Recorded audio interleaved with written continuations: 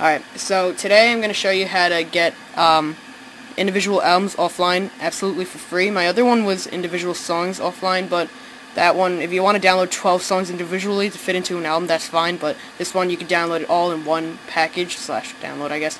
Alright, so you're going to need two uh, links, which will be used frequently this whole uh, video. Well, one of them is a link, but access to a download. It's BitTorrent. Uh, this is the thing that will be used to extract the download file that you'll be downloading from the internet, the torrent file, into individual uh, audio files, which will be individual songs to anywhere you want on your computer. So you're going to want to download this file, uh, install it, and then we'll continue this video. And also Kick-Ass Torrents is where you're going to download your torrent or download, which will be extracted in BitTorrent to be placed in individual, individual audio files, which are music files, songs, and then put into iTunes directly to your iPod or whatever. So, alright, now we got that covered. Uh, get those two links ready and um, install BitTorrent, and then we'll continue this video.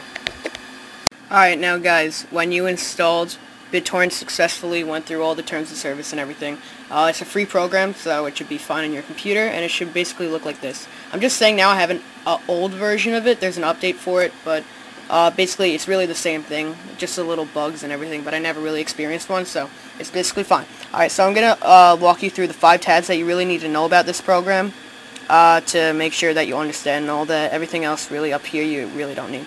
Alright, so all means all the downloads that you previously uh, used and extracted through this program in the past. Downloading is the ones that are currently downloading the uh, torrent files. Completed are the ones that you obviously completed, successfully installed and all that to your computer. Active, uh, this is a game that I downloaded a while back. It's seeding right now. You don't really need to know about this tab. But, uh, yeah, just ignore it, really. Inactive are basically the ones that you already installed and all that. Uh, really, you could basically clear out this folder if you want to. It just shows the downloads that you downloaded in the past that are not being used right now. Alright, now since you guys basically have a brief instruction on it, the uh, program. Now you're going to want to go to the site where you're actually going to download your torrent in order to be extracted through your new program, BitTorrent. Alright, so you can search for any album like I do with my other videos. I'm just going to give you an example of one just to show you what you exactly do for any album that you want in the future. So Avenged Sevenfold, Awaken the Fallen, really good album. I like this band a lot, so I'm going to search for that and download their album. Alright, so these are all the torrent uh, files that have these words related to them up here. Um, wait for that to load completely. Alright, so you're going to want to want look for the ones that looks more official and everything. The one with the most votes to ensure that it works. Uh, the one with the most seeders, basically, to make sure that the download is fast and reliable. So just click on one. And this is, um, this is basically the window that looks the same for any download that you do regarding movies, music, games, anything that you do on this website should look like this for everything. Now up here, here's really important thing that you need to know. Uh, this proves that downloads have been uh, installed successfully and people uh, mark it thumbs up to tell people that it's a good download or thumbs down to prove that it's a fake or bad download or causes any trouble with their computer. If it has thumbs up, obviously, it means that it's a good download and people like it, so they give a thumbs up to uh, tell people that want to download it, it's good, so download it.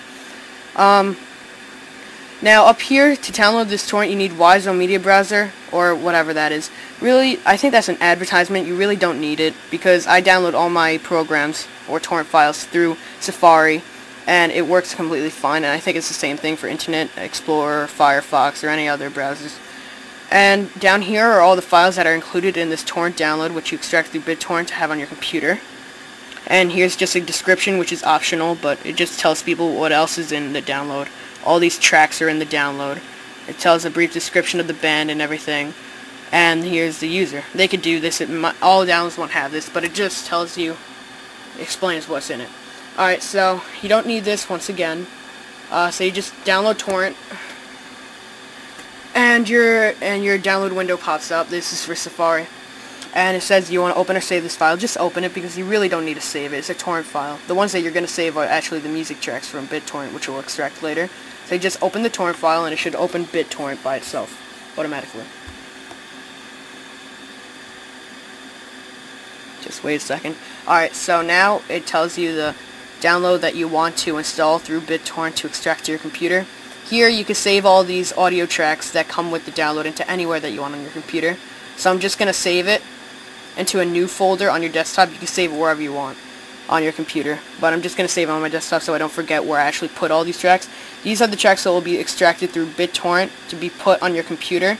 Here's the cover art. So say if you import it into iTunes, they'll have the cover art album art automatically with it to make it look like official, like you actually got the CD. And uh, then you'll want to click OK. And now there's one download, as you can see, Avenged Sevenfold Awaken the Fallen. Availability, uh, this will be red if it doesn't work, but once it turns blue, that means that people, well, it means that it's actually working. It's already downloading as it is. Put this as high to make it faster. So that is basically high priority on your computer, so that your computer mostly concentrates on this. And it already has 3% downloading. You don't really need, need to know about these. Here's your speed to make it look as though it's actually going up, and it is if the green bar goes up dramatically. And, uh, and obviously it's going to take longer it's a longer download. So I'll continue this video when this download is done. Alright, hey guys, I'm back, and now the download, the album finished downloading, so as you can see it's not in the downloading tab anymore, but it's in the completed uh, Avenged Sevenfold Awaken the Fallen. It'll be the same thing for any other album that you download in the future. Alright, now you could uh, close that and go to the place, folder, uh, file, whatever you downloaded those tracks or those uh, file contents onto your computer. So I saved my album into this new folder on my computer with all my other albums that I downloaded uh, from the internet through BitTorrent. And I'm going to go to Avenged Sevenfold Awaken the Fallen. And it'll already have all the tracks names, most likely, that came with the download. It already have it, so you don't need to fill anything in. Has all the titles and everything.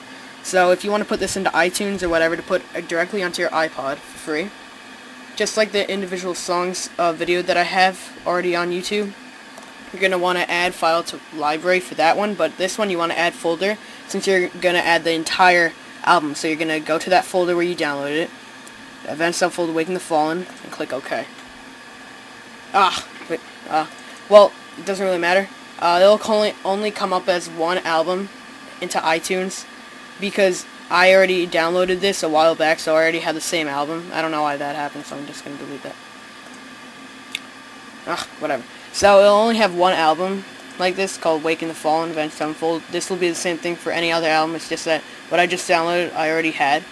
So then, once you're going to want to do that, you're going to just want to drag it to your iPod. When it's connected, you'll have to have your iPod connected, obviously, to, uh, to import it into your music tab. And the cover art, everything, the track names, will already be there onto your iPod, ready to go. Thanks for, uh, rate, uh, comment, and subscribe. Thanks again, guys.